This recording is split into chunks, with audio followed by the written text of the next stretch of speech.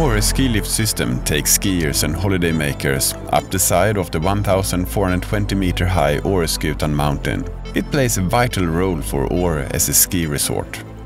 It was built in the late 1970s and now a restoration of the base concrete blocks was inevitable.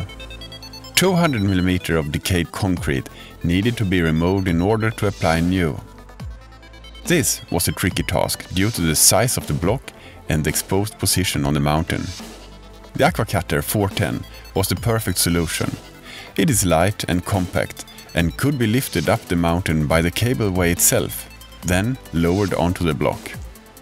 The Aqua Cutter 410 is a remote control machine specially designed for applications in confined and inaccessible areas.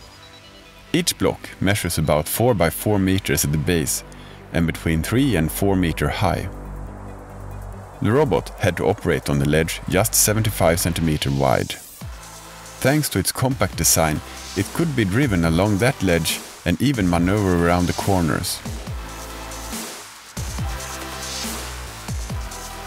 This way, it could reach all surfaces on the foundation without the need for any lifting devices.